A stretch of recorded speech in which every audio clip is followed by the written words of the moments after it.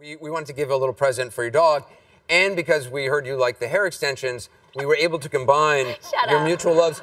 We Oh, no. found online Oh, no. doggy hair extensions. Are you kidding me Yeah. right now? Plus a little Anderson. Uh, Oh my god! yeah. You know what's sad is this actually is a hair extension. Oh right yeah, here. no, those and, and they're literally for dogs.